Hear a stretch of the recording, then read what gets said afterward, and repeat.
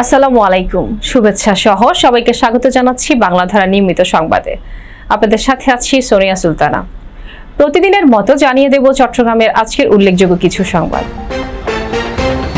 দীর্ঘদিন বন্ধ থাকার পর অবশেষে প্রাথমিক বিদ্যালয়ের শ্রেণীকক্ষে পাঠদান শুরু হয়েছে। প্রিয় শিক্ষাঙ্গন শিশুদের পদচারণায় মুখরিত হয়ে উঠেছে। অনেকদিন পর সহপাঠীদের দেখা পেয়ে উচ্ছ্বসিত তারা। বুধবার সকাল থেকে বিদ্যালয়ে আসতে শুরু করে শিক্ষার্থীরা। তাদের ছিল মুখে মাস্ক। বিদ্যালয়ে প্রবেশের পর স্যানিটাইজার দিয়ে কিংবা নিজেরা হাত ধুয়ে শ্রেণীকক্ষে প্রবেশ করে শিক্ষার্থীরা। প্রথম থেকে পঞ্চম শ্রেণি পর্যন্ত সপ্তাহে ছয় দিনই ক্লাস হবে। তবে ক্লাস দুই শিফটে নেওয়ার নির্দেশনা দিয়েছে প্রাথমিক শিক্ষা অধিদপ্তর। বিশিষ্ট গার্মেন্টস ব্যবসায়ী ও প্যাসিফিক জিন্স লিমিটেডের মালিক শিল্পপতি নাসির উদ্দিনের দ্বিতীয় নামাজে জানাজা অনুষ্ঠিত হয়েছে। বুধবার দুপুর দুইটায় জামিয়াতুল ফালা জামে মসজিদ প্রাঙ্গণে তার দ্বিতীয় নামাজে জানাজা অনুষ্ঠিত হয়। গত সোমবার বাংলাদেশ সময় তিনটা পনেরো মিনিটে থাইল্যান্ডের একটি হাসপাতালে চিকিৎসাধীন অবস্থায় মারা যান নাসির উদ্দিন। মৃত্যুকালে তার বয়স ছিল একাত্তর বছর। মর্গে মরদেহের সাথে যৌনাচারের অভিযোগে পাহারাদার গ্রেফতারের পর এবার সেই মর্গ বন্ধ করে দেওয়ার সিদ্ধান্ত নিয়েছে চট্টগ্রাম মেডিকেল কলেজ হাসপাতাল কর্তৃপক্ষ। বুধবার সকালে বিষয়টি নিশ্চিত করেছেন হাসপাতালটির পরিচালক ব্রিগেডিয়ার জেনারেল মোহাম্মদ শামীম আহসান। এর আগে সোমবার চমেক হাসপাতালের মর্গে মৃতদেহের সঙ্গে যৌনাচারের অভিযোগে সেলিম নামের একজন পাহারাদারকে আটক করে পুলিশের অপরাধ তদন্ত বিভাগ।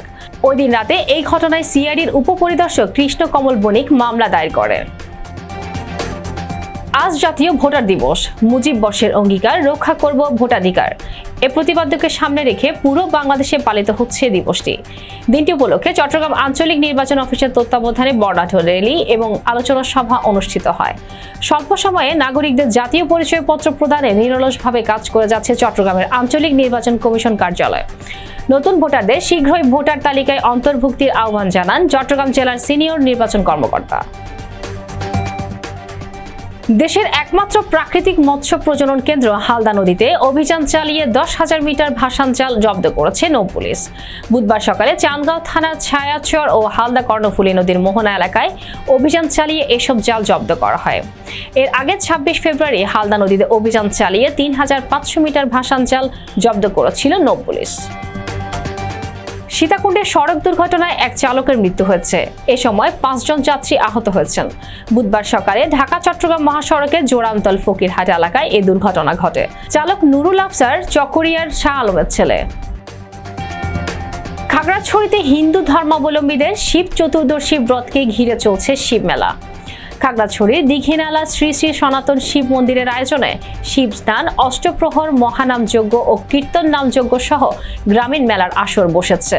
শিব চতুর্দশীতে দুই দিনব্যাপী মেলা, অষ্টপ্রহর মহানাম যজ্ঞের আসর শেষ হবে বৃহস্পতিবার ভোরে।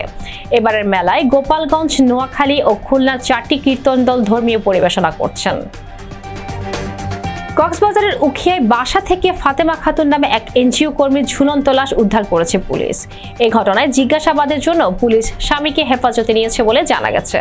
মঙ্গলবার দিবাগত রাত একটার দিকে পালংখালী ইউনিয়নের থাইংখালী জামতলি এলাকার বাসা থেকে মরদেহটি উদ্ধার করা হয়। এ ছিল আমার হাতে থাকা চট্টগ্রামের আজকের উল্লেখযোগ্য কিছু সংবাদ। চট্টগ্রামের উল্লেখযোগ্য সংবাদ পেতে প্রতিদিন রাত দশটায় চোখ রাখুন বাংলাধারা ফেসবুক পেজে এছাড়া চট্টগ্রাম ও দেশের সংবাদ সবার আগে পেতে ফলো করুন বাংলাধারা ফেসবুক পেজ ও ইউটিউব চ্যানেলে আগামীকাল ঠিক একই সময়ে থাকছি নতুন নতুন সংবাদ নিয়ে। দেখার আমন্ত্রণ জানিয়ে আজকের মতো শেষ করছি।